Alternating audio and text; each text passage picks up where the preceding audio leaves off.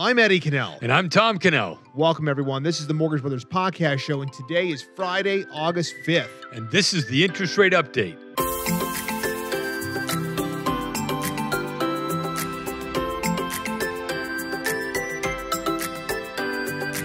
If you're new to the channel, be sure to subscribe, comment, and like. We like to make sure we answer all questions you have.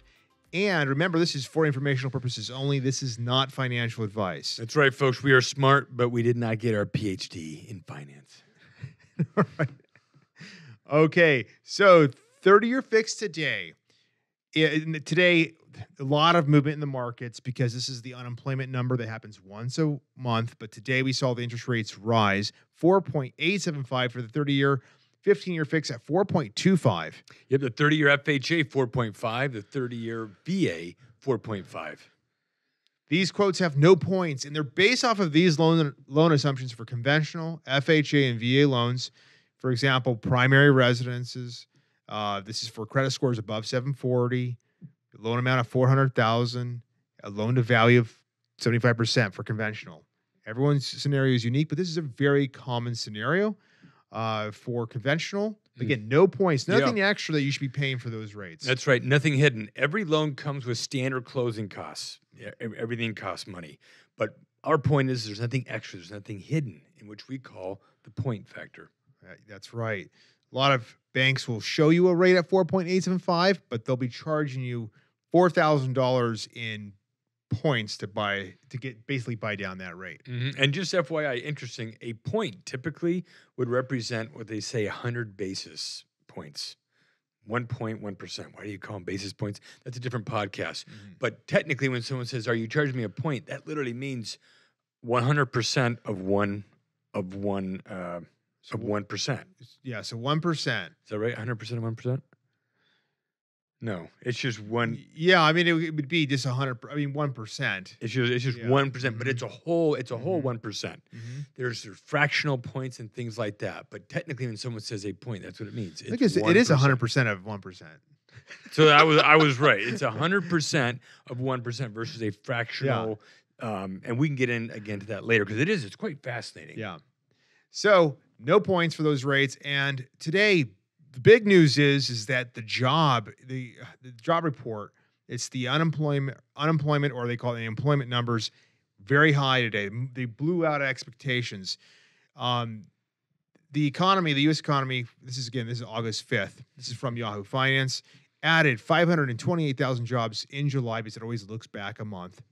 Um, and one of the big comments here is, here is that all the jobs that were lost, all the people who had left the job, labor market due to COVID, have basically come back, and all those unemployment uh, numbers are erased. hmm And what's really interesting, we were talking about this the the other day, on a macro level, um, you know, you know, good news is sometimes being viewed, or not sometimes, is generally being viewed by the market as bad news. Because every time there's good news, they're like, oh, the feds are going to, you know, increase rates. So just like today, here we go, some good news. So what does that mean? Ah, but it's kind of bad news because it means the feds are going to increase interest rates or they're going to continue to be more likely to. So really, Yeah, really interesting. That's dynamic. absolutely right. So what Tom, yeah, and just another way of maybe looking at it too is that I mean, they, this means the market's hot, and this means that the economy is doing pretty well. Now, for a lot of people, they aren't, they don't feel like it's doing well, but this is saying the way that the the way that the traders on Wall Street are going to interpret this is that the economy's hot. And if the economy's hot and inflation's really high, then the Fed will be aggressive and try to slow down the economy. Right. How do they slow down the economy? Is they going to add more or increase interest rates more? So they think the next time the Fed's going to meet in September, Yeah, they're going to be maybe increasing more. So that's why we're seeing higher rates today. that's right.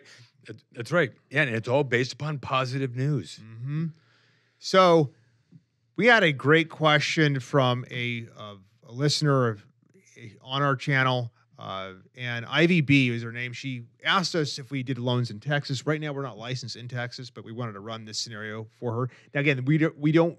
Every state may have slightly different interest rates, but we're going to run this scenario for her As, as she- if she was in yeah, Arizona. as though she was in Arizona. For we're just assuming this is a primary residence, credit scores are above 740, let's just say the home value is 325000 she had a lo- she said- she said she wanted a loan amount at 243 if the interest rate's 4.875 this would be her principal and interest payment plus taxes plus homeowners insurance. You know, we're guessing on that. That means total payment at fifteen fifty five, or you Mhm. know, almost fifty six.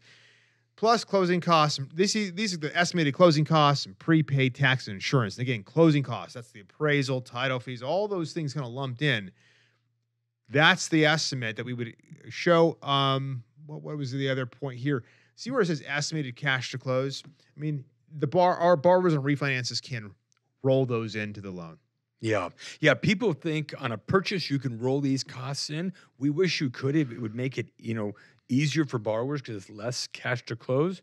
But on purchases, it's always in addition to because they don't want that down payment being diluted. Now, in this case, because this down payment is so high, um, she could exchange, you know, Mhm. some of her down payment for for cash to uh, for her her uh, her extra closing costs and escrow account. Yeah. But, for those doing just the minimum down payment, it's always minimum down payment pu- uh, plus your prepaids and your escrow versus in a refi, you can roll those in. Yeah, so we just take this forty nine hundred and add it onto the loan amount, then she wouldn't have to come in with any any Mhm. cash. That's right. A lot, most people do that. I mean, I'd say about eighty percent of customers seem to, or maybe even ninety percent of customers Yep. don't want to bring anything to cash. Now, if, if you are super on top of it today and you, you drank all your coffee, you would you would know if that loan amount was was raised and it went and it dropped that equity in the home below 25%, there might be a slight pricing adjustment.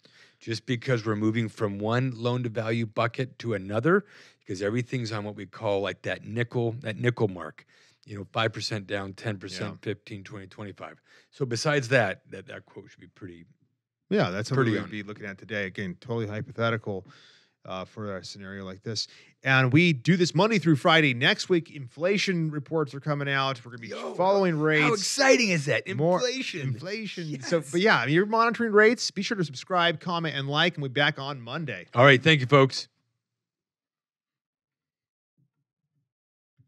Thank you, everyone, for watching our show today. If you have questions, be sure to email us at rates at azmortgagebrothers.com and be sure to take a look at all of our other videos on our channel.